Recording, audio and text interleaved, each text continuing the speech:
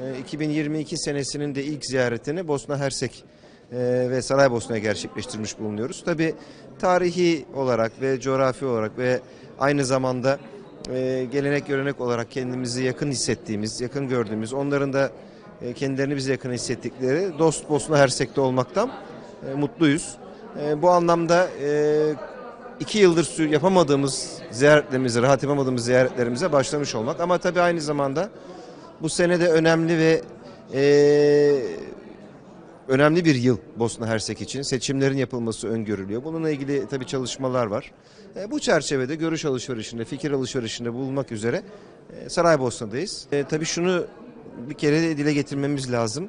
Biz e, Rusya Federasyonu'nun e, Ukrayna içerisindeki toprak bütünlüğünü e, zedeleyecek, ihlal edilecek adımlarını e, doğru bulmadığımızı e, en üst seviyede Sayın Cumhurbaşkanımız e, nezdinde dile getirildi ve e, ilan edildi. Tabii aynı şekilde bizler de milletvekilleri olarak e, Dışişleri Komisyonu olarak bu adımları tanımadığımızı ve doğru bulmadığımızı dile getirmiş durumdayız ve getiriyoruz. E, Ümit ediyorum ki Rusya, Ukrayna, Ukrayna, Rusya sınırındaki bu yaşanan gerginlik kısa sürede e, barışçıl yollarla çözülür. Herhangi bir şekilde daha fazla bir e, sıcak temas içerisine girilmeden e, ve ilerlemeden e, barış içerisinde, huzur içerisinde çözülür ve sorunlar masada görüşülerek e, çözüme bağlanır diye ümit ediyorum. E, tabii ki dünyanın birçok bölgesini etkileyebileceği gibi e, Balkanlar üzerinde de bir takım etkilerinin olması e, muhtemeldir e, bu gelişmelerin ama bu tüm dünyadaki e, bölgeleri etkilediği kadar e, olması e, muhtemel olan bir durum. Şimdi malumunuz e, burası da Ukrayna gibi hassas bir bölge. Geçmişte ağır trajedilere ev sahipliği yapmış bir coğrafyadayız.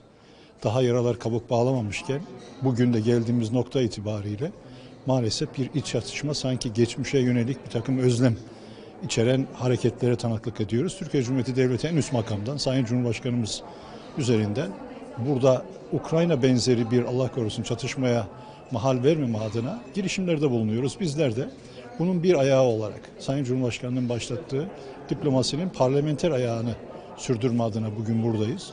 Yani buradaki o üç etnisite ağırlıklı yapının bir dostça, kardeşçe geçmişi bir kenara bırakıp birlikte yaşama azim ve kararlılığını koyma adına elimizden geleni yapıyoruz.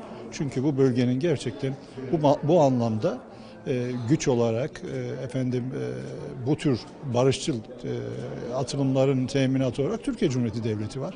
Biz nasıl ki Ukrayna-Rusya krizinde olduğu gibi bir taraf değil, tam tersine barışı öncelemek, huzuru, istikrarı önceleme adına orada nasıl ki üst düzey girişimlerde bulunduysak yine ta devletin en üst makamı üzerinden aşağıya kadar. Bugün burada da aynı düşüncelerle bir aradayız. E, bir de bizi buraya bağlayan tabii manevi nedenlerimiz de söz konusu. Dolayısıyla bizim hassasiyetimizin bir kat daha arttığına tanıklık ediyoruz.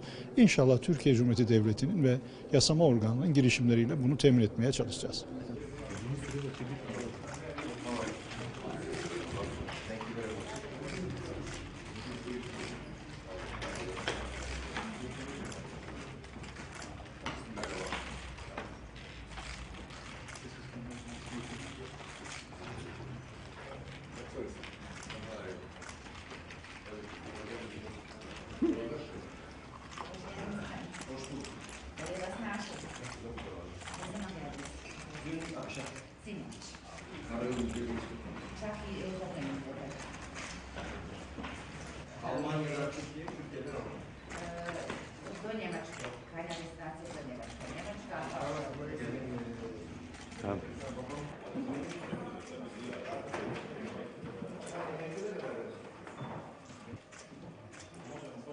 Başlayabilir miyiz? Başlar. Hakikaten daha hareketli bulunduğumuz için çok memnunuz.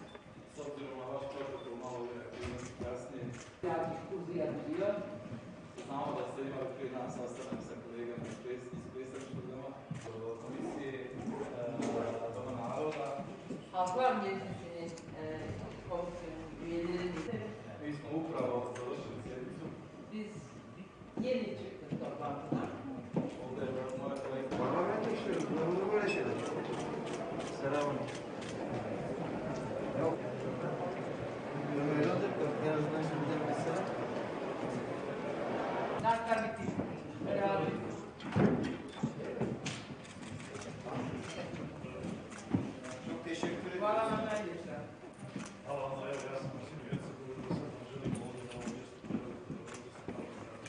Biz teşekkür ederiz. Ben e, Arasında memur oldum. Bayılırsan. Hayatım. Sadece.